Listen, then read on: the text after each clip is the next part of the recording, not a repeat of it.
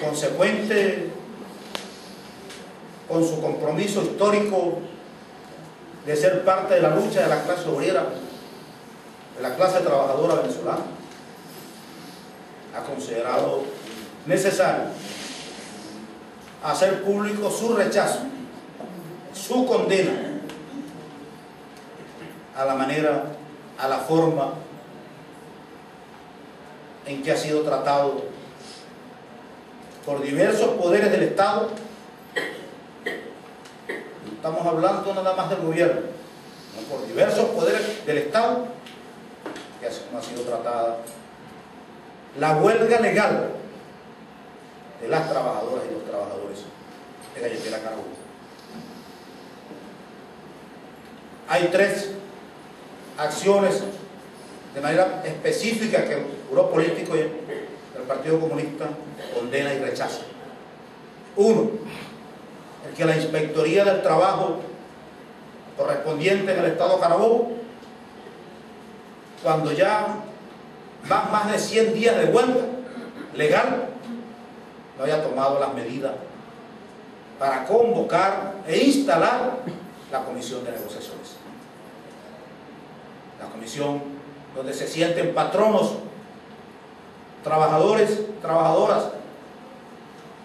y el Estado a buscar la solución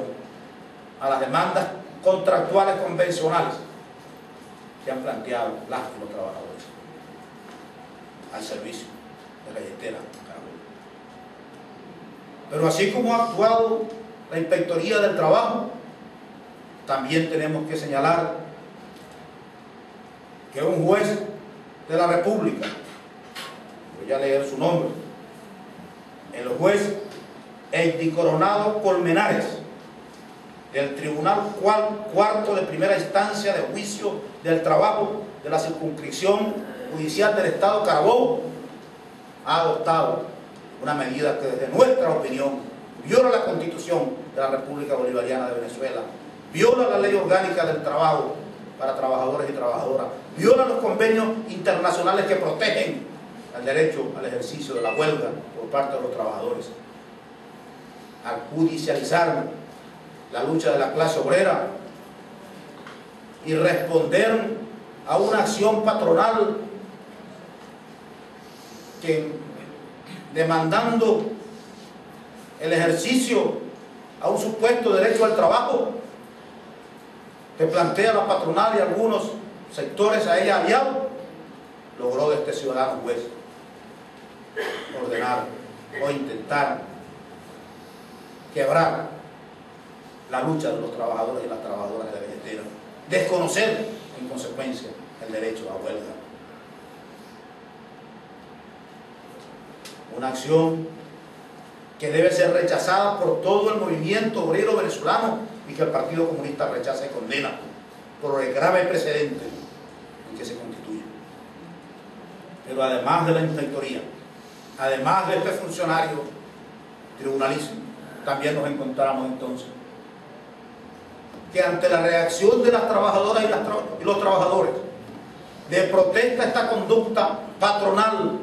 de un juez de la República a esta conducta de dejar hacer de una inspectoría del trabajo antes de omisión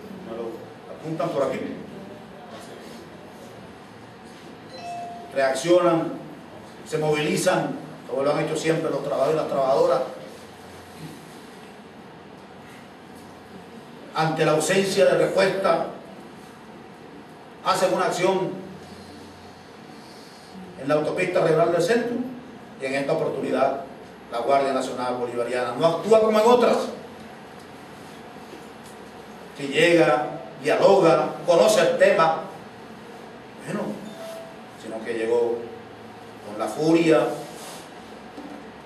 de una fuerza represiva del Estado a golpear, a reprimir, a apresar, a detener a trabajadores y trabajadoras al servicio de la calletera Carabobo. Y en ese contexto de esa acción, además de golpear a decenas de trabajadores y trabajadoras, detienen a los cuadros del movimiento obrero al frente de esa lucha, Julio Polanco, Roberto Yepes, Edgar Jiménez, Marcela Máspero, y José Guillén. El Partido Comunista condena esa acción y expresa su total e irrestricta solidaridad con los trabajadores y las trabajadoras de Galletera Carabobo. Y en función de eso entonces, el Partido Comunista también invita a los trabajadores y trabajadoras en conflicto, en lucha, y a quienes estén dispuestos a expresarle su solidaridad, a acompañar la movilización que este próximo miércoles 12,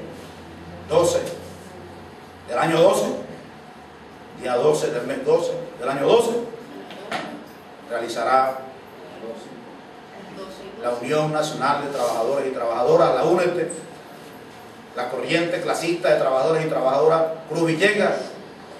distintos sectores del movimiento de consejos de trabajadoras y trabajadoras y del control obrero y delegados y delegadas de prevención en solidaridad con la lucha y con los conflictos que están desarrollando distintos grupos de trabajadores y trabajadoras en su derecho. Movilización que partirá